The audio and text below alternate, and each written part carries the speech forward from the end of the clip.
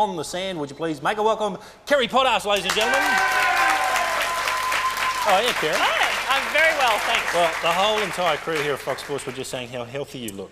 Oh, it must be the tan, you know. Sun's, a great time for sun's you. come out and Manly Beach is going off, and mm. yeah, it's beautiful down there. You know, I just love the summer down here in Australia. Oh, I love it. It's, I mean, Australia's just the best place to be right now, but always. I mean, we travel all over the world. We go to beaches in Rio de Janeiro and um, California on the, the uh, west coast there, and come back to Australia and just go, oh, it's just so much better here. It's beautiful. Where's the weirdest place you've ever played? Where's the craziest beach? The craziest beach. Well, we've played in car parks. Really? We've played in tennis centres where they've just, you know, trucked the sand in. Um, probably the weirdest place was a car park in Brazil. This big car park, and they Was it a good looking car park? Oh yeah. Did you win?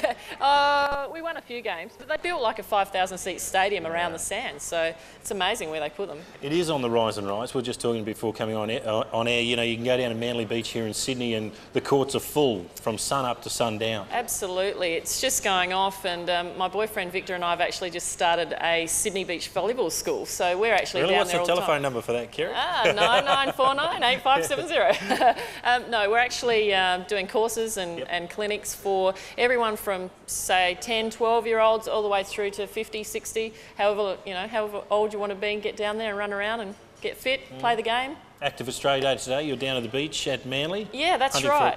That's right. I'm also an ambassador for Active Australia Day, and today we set up a court down at Manly. We had people come and try, and uh, it's all about participating and feeling great, and just getting out there and having a go, and you know, getting out from in front of the television, watching Not Fox just yet. Sports. Not just yet. Everybody at home, not yet. you have to stay here for Kerri's interview. And what about? Uh, did you ever think you'd make such an impact at the Sydney Games?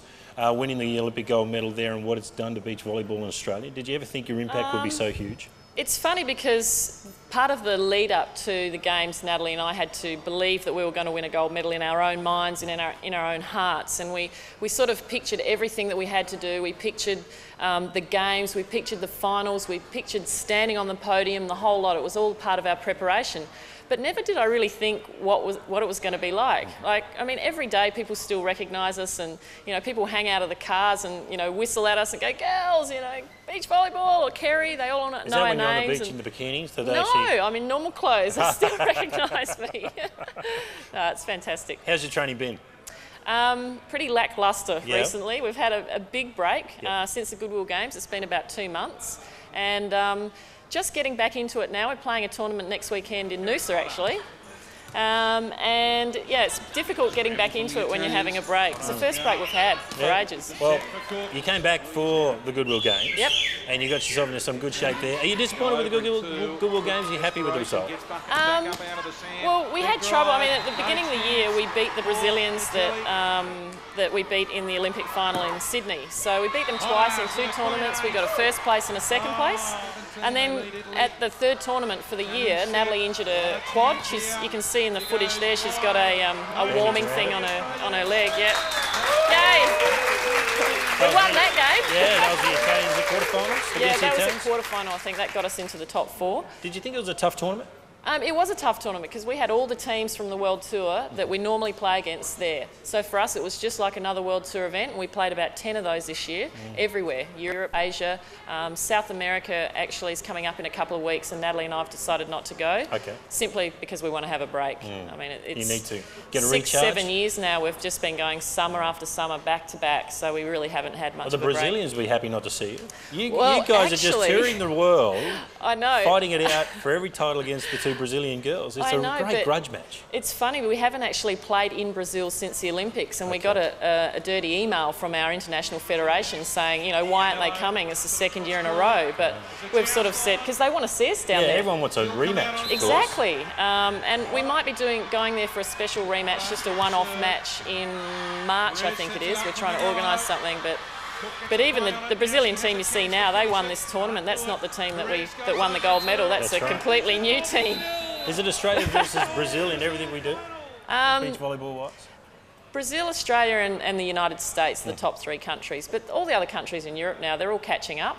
And um, you know, by 2004, there'll probably be another couple of countries that are that are on the top, and we'll be all battling it out for, for Why- medals why there. is it? Why, why are they all coming across? Is it just because you, you're that much more glamorous than uh, the indoor stuff? Um, well, we still find there's a lot of really good indoor players that don't want to play on the beach, but and that we'd love to have out on Are the beach. 'cause they're- antisocial? They just don't want to play Yeah, on the beach. They, I think they realise how tough it is because indoors you've got six on six. They can't handle the sand. No, they're wusses, wimps. Sand in the cozies, can't handle it, don't like it. How do you handle the sand in the cozies?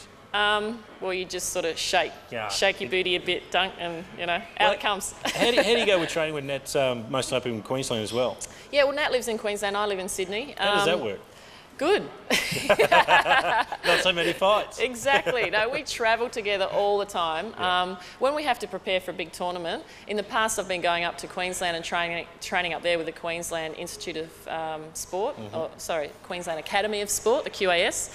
Um, but I've sort of said to Nat, look, if you want to keep playing with me, I've been doing that now for a few years. You've got to come to Sydney. So. How's she like? How's she like the big smoke? Uh, she likes it here, but I think she, you know, feels more comfortable up Do there. think- So Do you think that whole technique of, of her being interstate as, as well as yourself has always keeps you fresh rather than sort of going through endless training sessions and being flat for a tournament? definitely, Because yeah. you're only getting together rarely. Well, that's right. I mean, I think me having to go away, for me, it makes me go away with a purpose. And I go up to Queensland and I train with Nat, and I'm there for a reason. Mm-hmm. So I put everything into while, while I'm there, you know, 100% into training. I make sure I'm, I'm always early, you know, doing extra fitness work gets done. When I'm at home, I get distracted, you know, the phone rings, whatever. Oh, oh half an hour phone call later. oh, it's too late, the gym will be closed, That's you know. right. Can't go to, can't go to training. Get a bit lazy. closed. Oh, we were talking to Braithen Astor just before uh, you came on, and I asked him, does he set goals? Do you set goals, even All though you've time. attained so much? Well, definitely after the Olympics. I mean, in my whole volleyball career, I've been playing volleyball for nearly, I think, 18 years, indoor and then beach. Always set goals. Um, one of my goals when I wrecked my knee in 1992 was to make the Olympics in beach volleyball, and I hadn't even really started playing beach volleyball. So, and then obviously when we won a bronze medal in Atlanta, the next goal was, look, you know, we have to win a gold medal. That there's nothing short of that. Um, and then after winning the gold medal, it was like, well, what now? I know. Um, Where's the next Everest?